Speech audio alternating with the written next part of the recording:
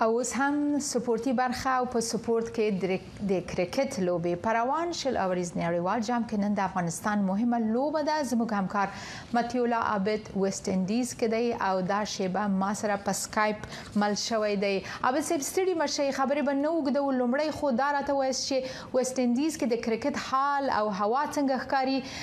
او آمادګیانې څنګه روانې دي تر اوسه ډیره مننه شایسته جانې دا وخت د ویسټ انډیز په ګیانا ایالت کې د کرکټ میدان مخې ته ولاړم دلته لوب نن د افغانستان په وخت باندې سهار 15 بجې شروع کیږي د امریکا په وخت 3 بجې او پرون چې د کرکټ لوبغاړو سره خبرې وشوې هغه ټول خپل آمادګي خو دلې دا لوبغاړي تمرین هم کړی دی او خپل لوبې ته پوره مکمل چمتو دي اځي خو د موږ دوه میچ دي یوګنډا سره هم د پینجی سره هم ده هغه موږ یې زینا خلو ځکه ویم چې دلته راغلي دي نو هغوی شاته ډېر محنت کړی ده خواري کړې ده نو په دې هغوی ته نه دی ویل چې ستاسو داسې ورلډ کپ کې حصه واخلئ خو هغوی کوالیفای کړې ده موږ هغوی ته هم په کمه سترګه نه ګورو خو موږ خپل هغه ځکه موږ اوس هغه په موږ په دې ټیم کې په دې ډګ آوټ کې یا په دې بس ماحول کې اوس هغه مخکې به سره کوم ته موږ تیوري و د الکانو چې ورلد کپ تر روان یو یا پلان کې ټیم سره میچ دا پلان کې پلیئر دا اوس دا ټیمونه راځي موږ سره دريږي موږ پښتنه کې مخکې موږ دوی پسې ګرځېدلو دا ډېر یو پوزټیو شای دا نو واقعیت دا ورلد کپ د غټ ایونت دا ویسټ انډیز هم غټ ټیم دا او بیا نیوزیلند هم غټ ټیم ده نو د کرکټ د ورځې لوبه ده نو موږ باید خپل سټرینث ته وګورو چې موږ کوم سټرینث ده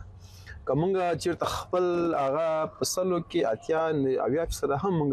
ایفرټ وکړو نو هانز دا ورځ به لرې نه سي چې افغانستان به په ټاپ فور عابد صاحب مننه هان صاحب مو ولید خو آیا تاسو د افغانستان د کرکټ ملي ټیم د لوبغاړو سره ولیدل او کنه دوی څه وایي څومره هیجان لري د لوبو لپاره څنګه چې تاسو هم په جریان کې یاست شایسته جانې د کرکټ ملي ټیم پرون دلته را رسېدلی دی د کرکټ ملي ټیم لوب کپتان راشد خان پرون مطبوعاتي کانفرنس کې خبرې وکړې او ډېر جالب خبره دا وکړه چې افغانستان کې د غلوبې سهار مهال کېږي هغه مینوال به سهار مانځه تر پاسيږي نو لوبه به هم ګوري او موږ ته به دوام کوي په دې وایي چې زمونږ زړونه د خپل مینوالو سره دي او نن چې موږ د یوګاندا سره کوم لوبه کوو د کې زمونږ هڅه ده چې د کرکټ نړیوال جام په بری سره پیل کو او داسې یو مرحله ته ورسیږو چې دا د افغانستان په دی اول پړاو کې نه بلکې په دویم پړاو کې تر وینو هلته خلک ورته راټول شوي دي د ملاتړ دپاره یې د تشویق دپاره یې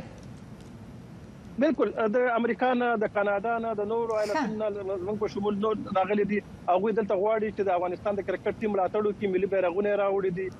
او ځایونه نیولې دي دلته ورته ډېر لیواله دي او حواله تاوده ده شسته جانې خو خلکو هغه مینه د هغې نه زیاته توده ده، کوشش دا کوي چې د خپل کرکټ ټیم تشویق کړي، هغوی سره ودرېږي او بل دا دی چې په کرکټ ټیم باندې چې څومره د خلکو زیات حساب دی او دا وایي چې دغه ټیم چې په پنځوس اوریزو لوبو کې څنګه ځلېدلی او څومره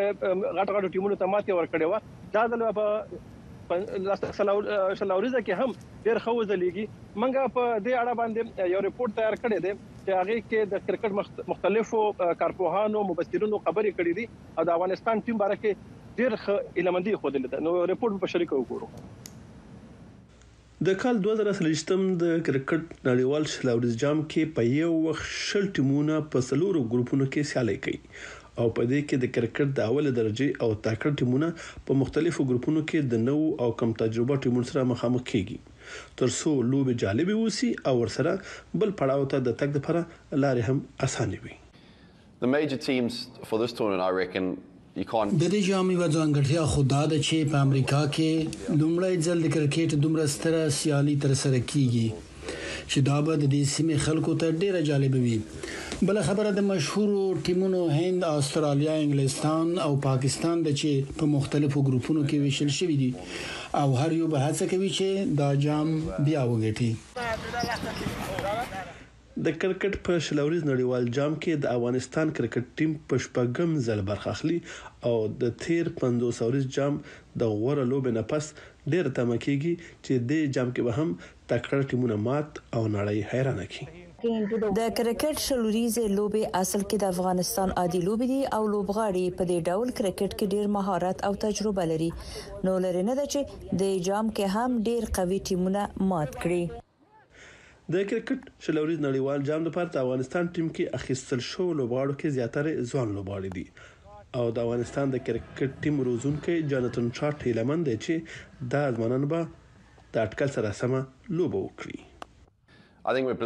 تېر پنځوس اوریز جام کې هم د ځوان لوبغاړو په مټ افغانستان سترو ټیمونو ته ماتې ورکړه او دې جام کې هم نوي ځوان لوبغاړي لوبیږي، نو تمه دا ده چې دا ځل به هم ډېرې ښې لوبې وشي او بریاوې به ترلاسه کړي. د کرکټ شلوري جام